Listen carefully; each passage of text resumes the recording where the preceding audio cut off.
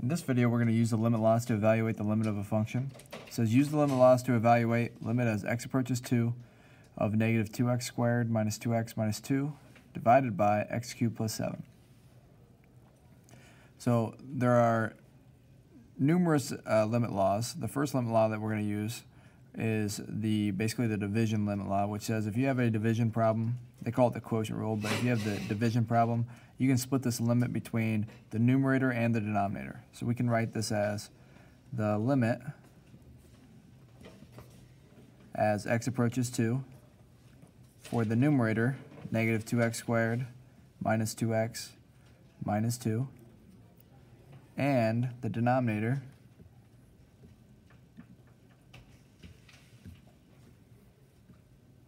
which would be the limit as x approaches 2 of x cubed plus 7.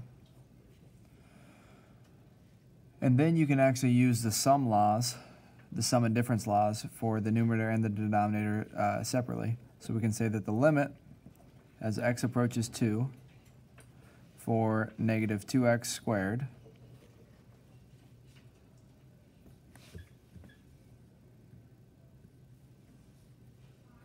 plus the limit as x approaches 2 of negative 2x plus the limit as x approaches 2 for negative 2. And do the same thing on the bottom. We would have limit as x approaches 2 for x cubed and the limit, so plus the limit as x approaches 2 for 7.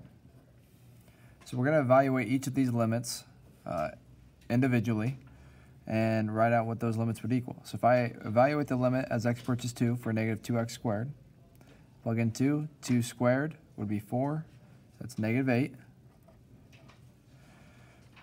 plus, plug in 2 here, I'd have plus negative 4, because that'd be 2 times negative 2. And then evaluate the limit as x approaches 2 for negative 2, that's just negative 2, so I have plus negative 2. All divided by 2 cubed, which is 8. And then the limit as x approaches 2 for 7 would just be 7. So negative 8 plus negative 4 plus negative 2 would be negative 14. And 8 plus 7 is 15. So we can say that the limit